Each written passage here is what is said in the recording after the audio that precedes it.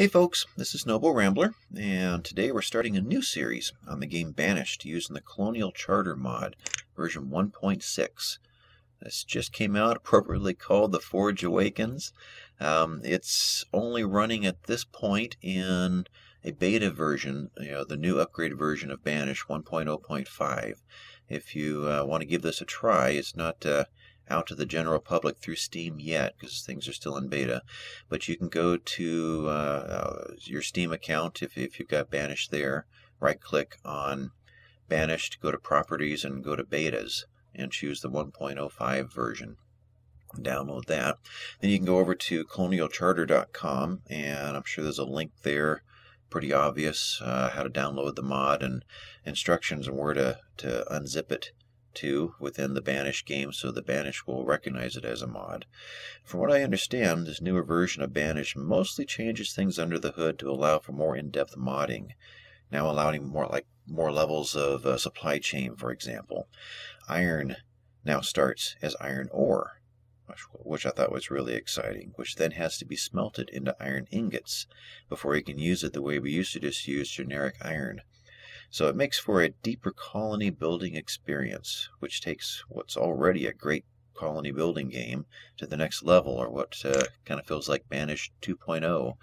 So we're going to start a brand new game, and this one I'm going to pick my own name. I'm thinking Ramblington.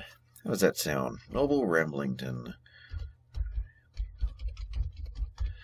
And I don't have a map seed picked out. We'll just kind of randomize it and see what comes in.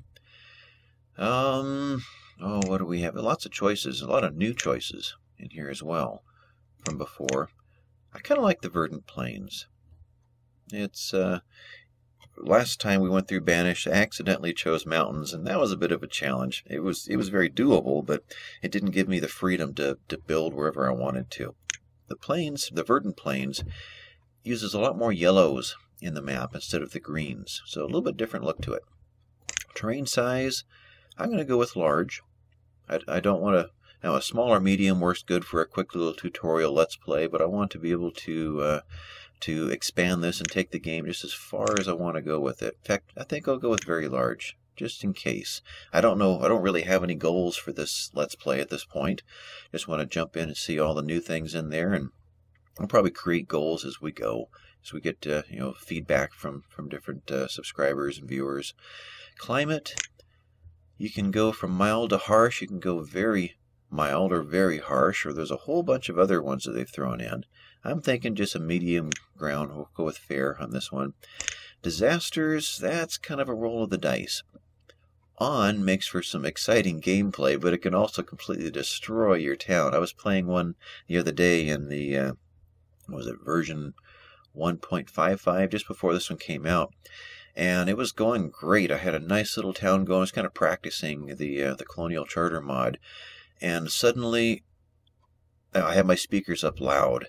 And it just started going boom boom boom boom boom and real loud noises. And i hit pause. I looked down to see these little red cross marks all over the bottom of the screen. Like it's just you know, death after death after death, and I moved the map around to find that a tornado dropped right into the center of town and just wiped out everything. When I was done, there were there were a couple of adults and three kids left. There's no recovering from that. So it's not like it's not realistic. I mean, those we've seen, you know, in, in the last many years, whole towns being wiped out by by tornadoes. So it's it's it's realistic. It's just, do you want to do that to a Let's Play series? But yeah, for the excitement of it, let's go ahead. We'll turn them on and just see what the game throws at us. Starting conditions. Charter, uh, Colonial Charter has a lot of of scenarios that they've created. And I haven't had a chance to, to play with a lot of these. I'm mostly, I've spent most of my time with just vanilla banished.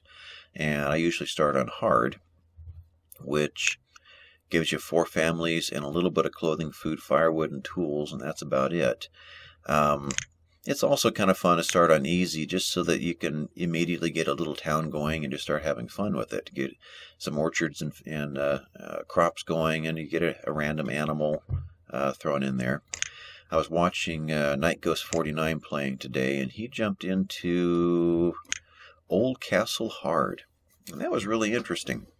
Starts off with a, oh, like an old fort that the game is programmed to use as both a stockpile and a storage barn.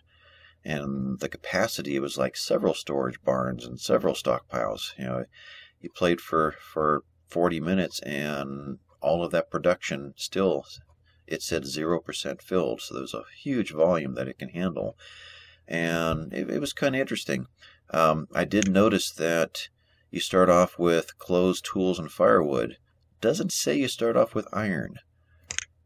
Go to easy and does it say? Just says building materials. Okay. So i guess they don't actually say iron.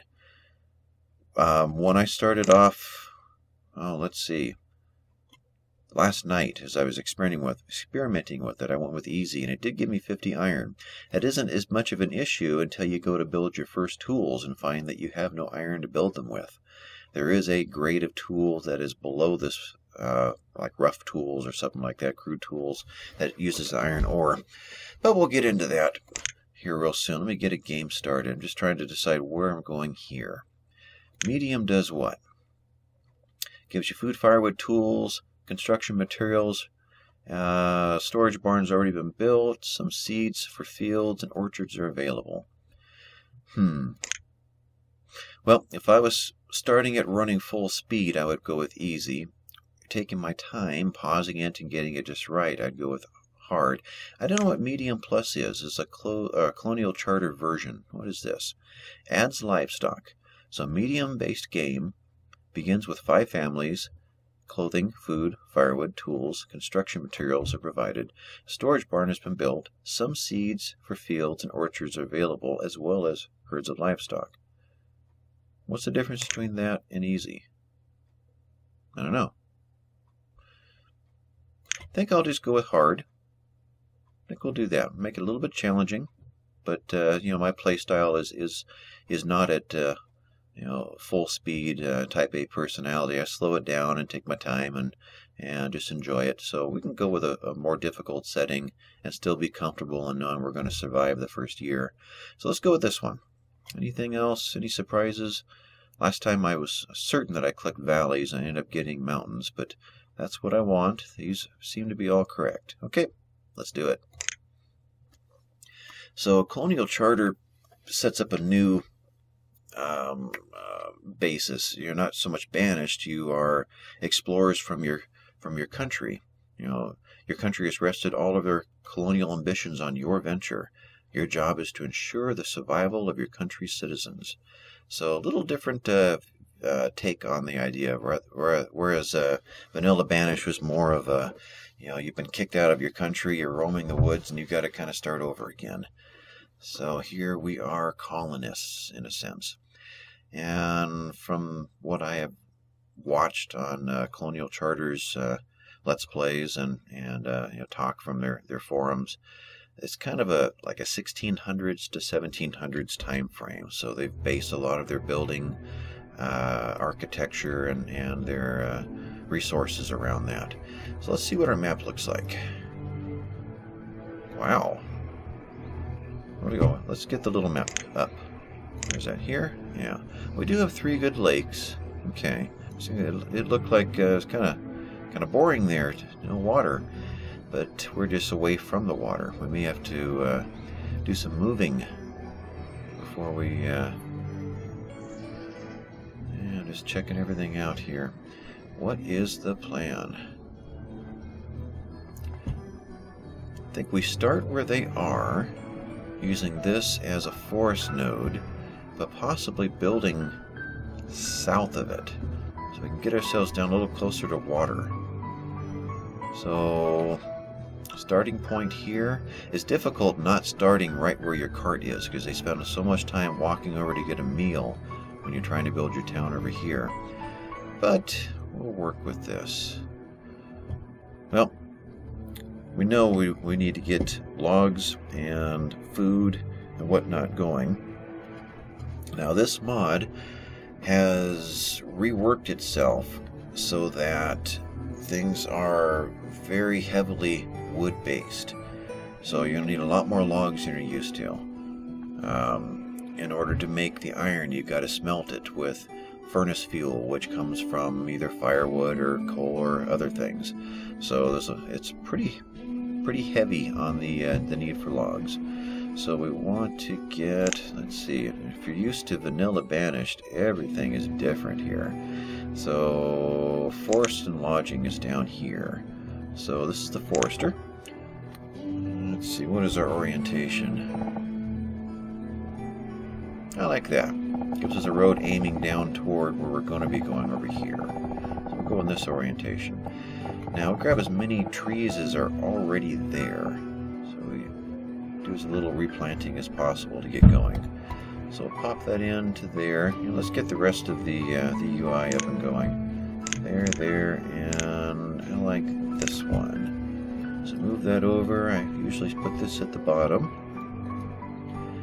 This in the corner, right there. So Ramblington, 13 citizens right now, all homeless. Some of those are kids. So we've got eight laborers, eight adults right now. So we'll immediately set at least two of them as builders. Well, we'll set half of them as builders. They're going to act as laborers until there's something to build anyway. So we've got our forester here. Let's get the gatherer going. So food and this one, raw food gathering. And one of the choices is the gatherer, which really well, it was in the vanilla. I'm assuming in this one as well, it is still the strongest method of uh, gathering food as far as how many resources an individual um, uh, settler can, can bring in. I'm going to go down here with him. Okay, so, and I always grab these and set them aside so I can keep track of them. Choose which ones I want to build first. Um, we're going to want an herbalist in here. We're going to want a, uh, a hunter in here. So right alongside the gatherer is the hunting cabin. and I'm looking at the, the yellow circle around there. I almost reached up and pointed at my screen for you. One of these days I might start running these games with a camera, but right now I'm still just running the microphone. kind of want to get further down in here, but it's kind of nice having them both kind of huddled around the same road. So we'll do that. I usually spread them out a little bit so I can put have a little flexibility in between for my roads. Herbalist. That is in town services under health and healing. That is right there along with your hospital and, and an apothecary. And you see the apothecary requires, looks like, lumber. So you've got more building materials in this game than you do uh, uh, vanilla banished. You've got uh, lumber and, and bricks and glass and things like that. So there's so many more levels to this than, than uh, we'll say is Banish 1.0. So the herbalist, I forgot the hunting cabin, and I usually drop them in the order that I put them on the map, because that's the, the order that your colonists are going to want to go to unless you direct them otherwise. Alright, we're going to throw a road into here and eventually out of here. New road type that I noticed. Country road.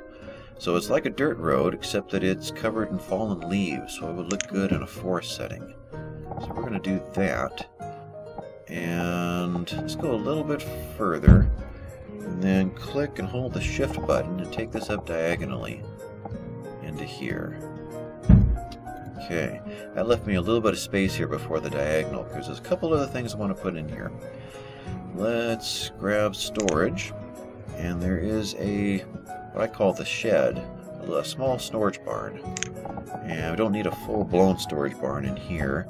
More of a temporary place for your gatherers to drop things off before the eventually the marketplaces will come and get it. So let's go there with storage and then stockpile. Lots of choices here too. You've got your generic stockpile. Then you've got uh, logs and firewood. You can you can specify exactly what you want on the stockpile. What is this one?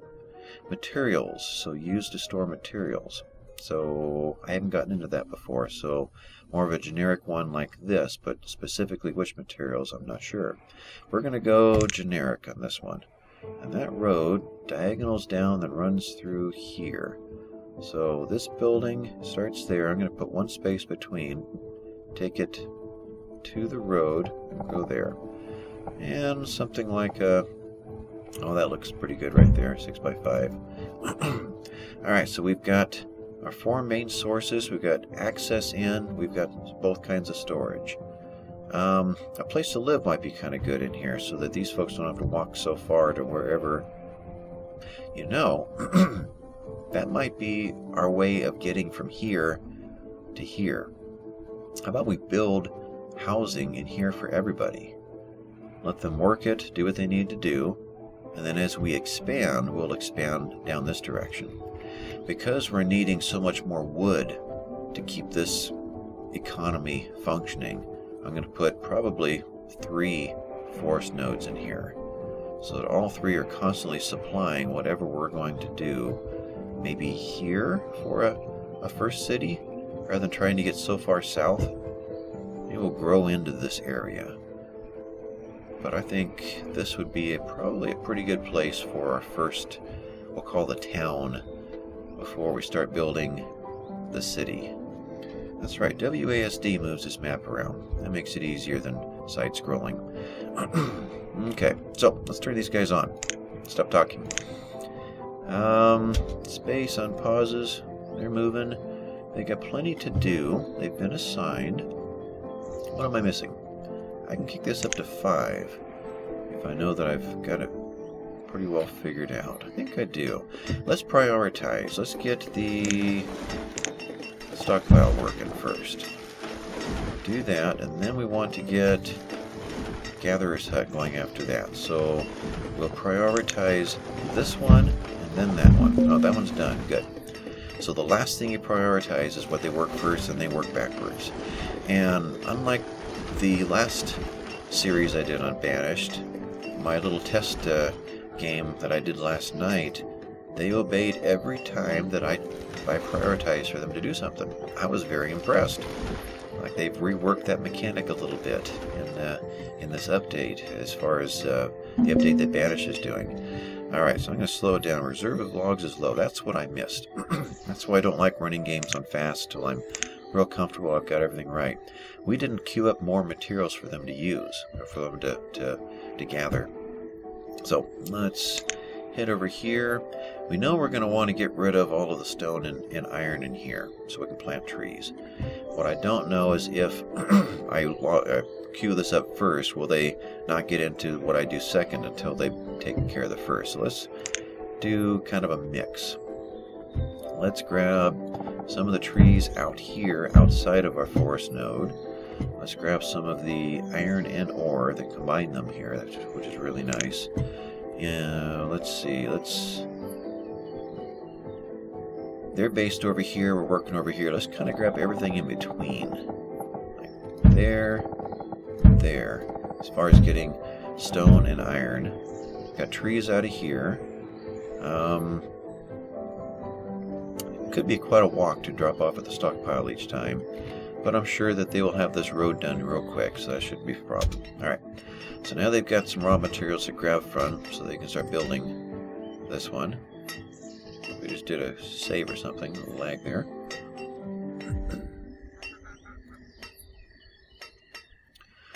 So the Forester was the first one built, so they naturally wanted to work on this first until I told them to work on this one. That's why so many logs and stone had already been dropped off over here. But this one's full now, and we've got three builders working on it.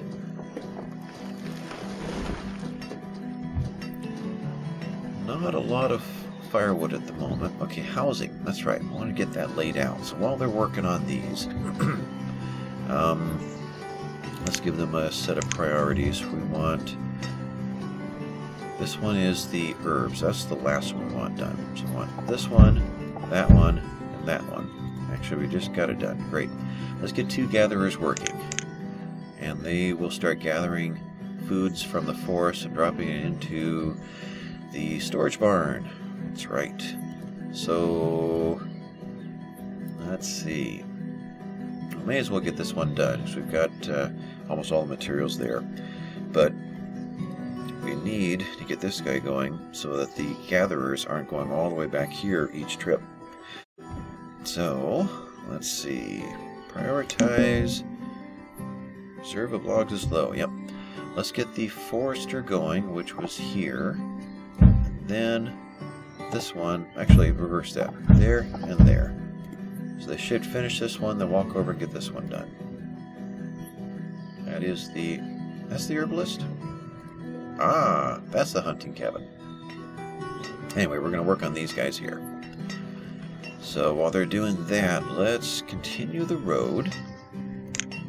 And we'll continue using the forest road. Um, where are we heading? Are we diagonaling? no, we're going across the river. Okay. So let's forest road out a little bit further. And then we'll take this diagonal this direction. Something like that. Get us out of the forest again. And right in here might be a good place to drop four houses. What I've been hearing, the log cabin, better warmth and comfort than a wooden home, right? So the log cabin uses less firewood. So let's go ahead and drop four of those in real quick. So space away and a space out. Couple spaces apart. There's no real crunch for space inside here. Whatever space isn't used is going to be filled with trees anyway. Let's put the houses along the top of the screen to remind us that they're here. The builders are going to be building the road because they really like to build roads. The laborers are going to be taking out the stone that's in the way, and that's fine. We need stone. How are we doing on that anyway? Yeah, we need building materials. So let's... Oh, more laborers than builders. Well, I guess, again, it doesn't matter. When they're not building, they are laboring. So it's the same. This one is finished. I can't... I can't grab it. So let's turn that one off. Declutter things. They're working on the road, and they're working on the small barn which desperately needs building materials. Let's kick our speed back up.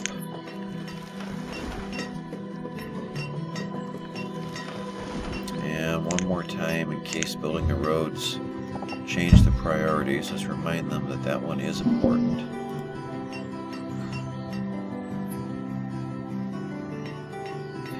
We are in late spring. Now, if this was an easy build, an easy uh, uh, game instead of hard, we had seed and animals and seed for orchard crops, then I would have immediately up here probably popped in two crop fields. If you can, you know, if you're into spring, then it may as well first thing get a couple of crops in. That way you've kind of guaranteed a big burst of food for the wintertime. Which we are doing what now? Are we eating? No, we're just all heading this direction. Oh, okay. For some reason they they satisfied the road, and they need building materials, so they all took off to start taking out, out materials. Okay, we've got a storage barn, or what I call the shed, mostly built, and we're finished. Small barn, okay. And it's still screaming at us, we need logs, we need stone, we need everything, and boy, we do. You know, there is something to be said about pausing everything, giving them you know, a part, you know, a tick of a season here to just gather materials. That way they are not going out chipping away two stones, walking back, dropping it off, going back, doing it again, but they're actually bringing in full loads and then moving those full loads in. Let's do that. Let's just hit pause on everything till late summer. See just what that does for us. Is there anything else that we've built that we've not designated? I think everything is on the screen. Okay, so let's let everyone... That one was being built. Actually, all the materials are there. Let's go ahead and turn that on. A couple of builders will dive in there and do that work. Everyone else should be out dropping trees and chipping up uh, stone and iron and bringing it all to the stockpile. So we should see this stockpile start to grow quickly. It's also Oh, that's right. I have to remember this myself. We don't have any iron because iron doesn't exist yet. We only have iron ore, and we have lots of that. So we've still got to melt all that iron ore down. Got summertime now into usable iron. So we've got we have a lot of trees in here. Let's not hire a forester just yet. Let's continue to get their labor building up our materials. We need lots of stone. In fact, we do need lots of stone. Let's hold off on all of this iron right now. My map's at an angle. That's why I can't drag diagonally and catch all this stuff. Okay, so let's... That's strange. There's some red. Okay, so let's make sure that we've designated just stone. Get lots of that coming in rather than spending so much time working on iron that we're not really going to need just yet. So we're into summer. We've got 13 stone stored.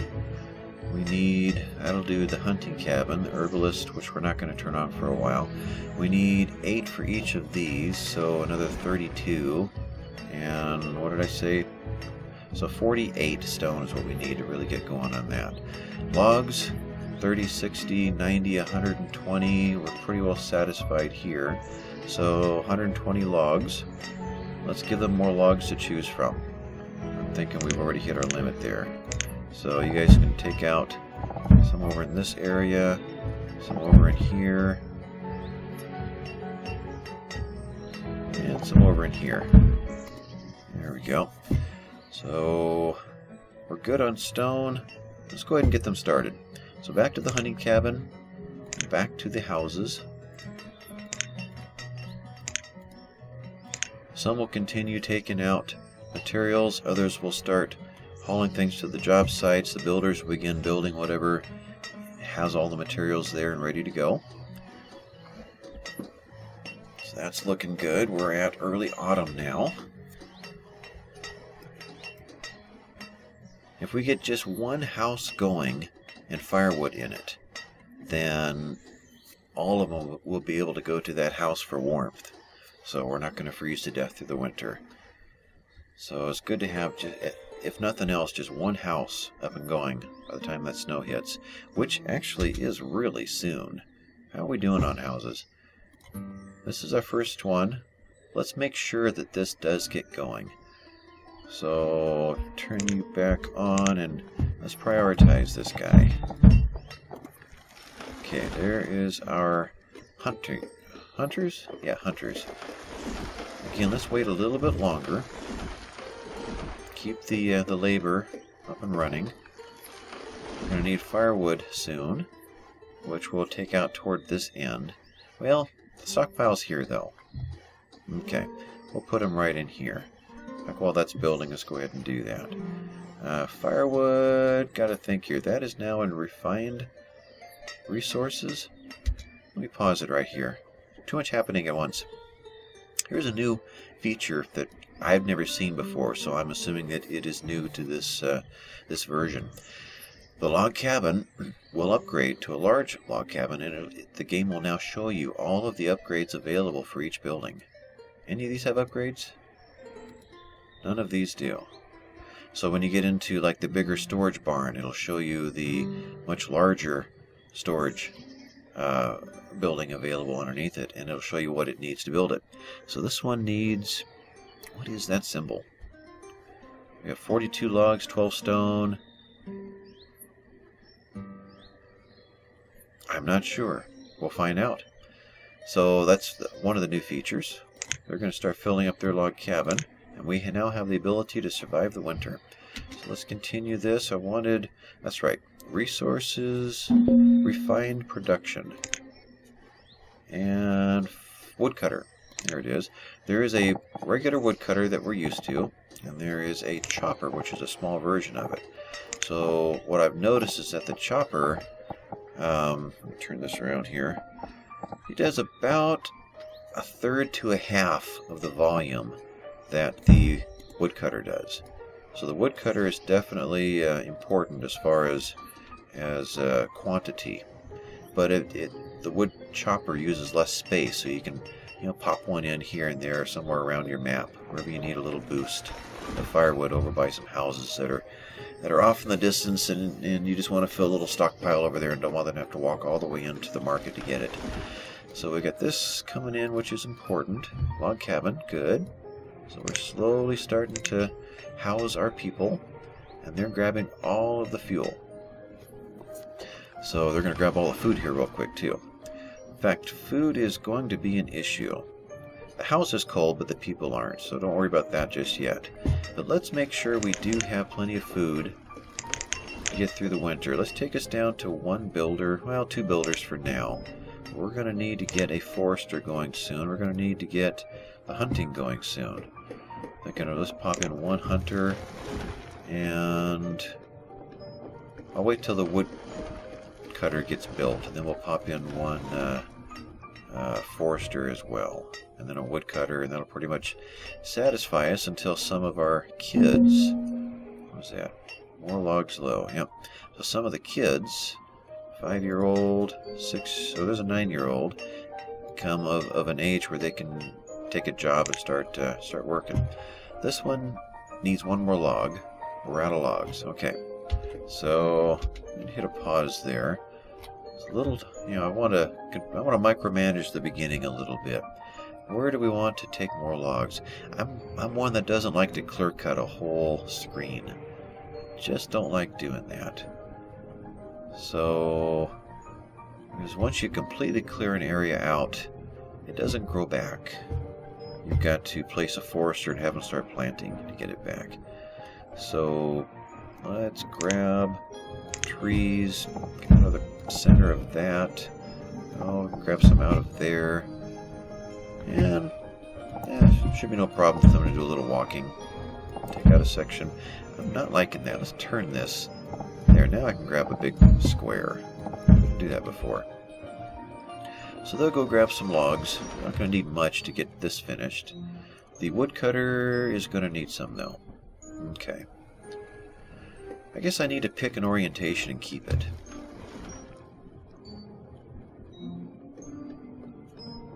Trying to remember, wasn't there a place that had a compass?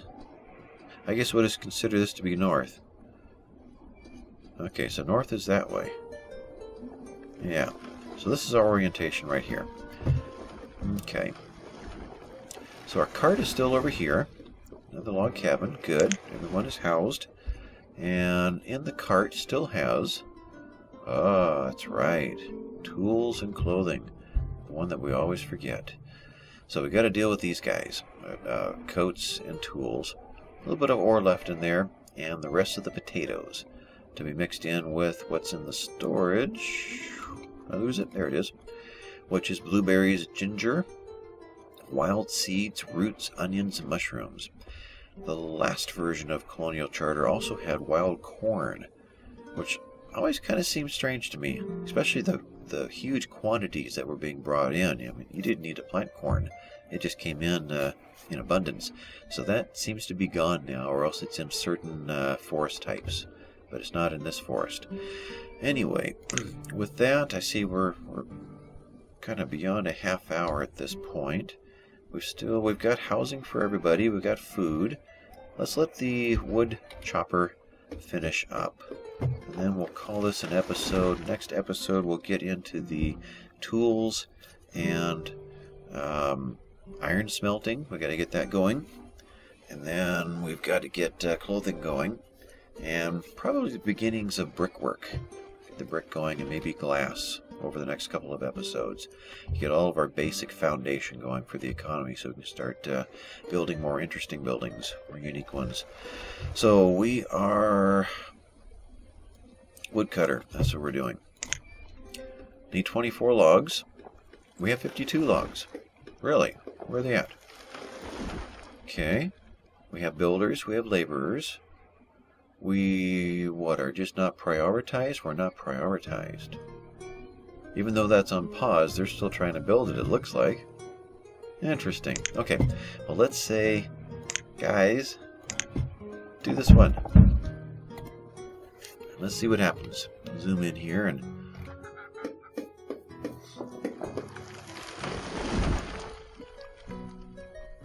Yep, they're bringing all the, well, they're picking up the last of the supplies. Now we're dropping them off.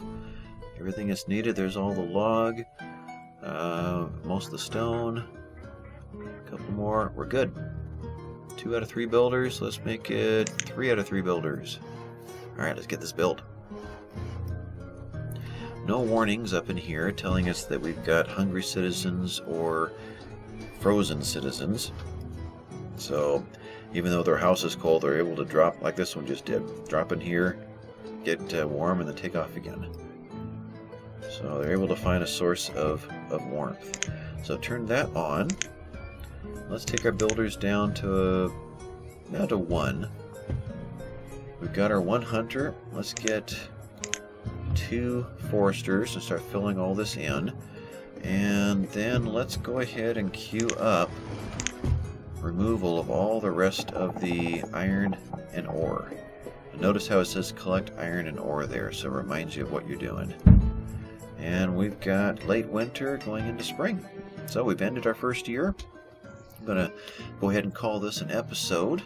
Next time we'll come in and start working on the tools and the clothing and, and maybe the, the clay, the, oh, definitely the iron, maybe the brickwork. But we'll save that for next time. So, folks, I thank you for watching. This has been fun. Is going to be a great series. We'll have to figure out what our goals are and how far we're going to take it. I don't know if we're going to go for a population limit or if we're just going to have fun and just, just build. We'll see. Thanks for watching, guys. Bye-bye.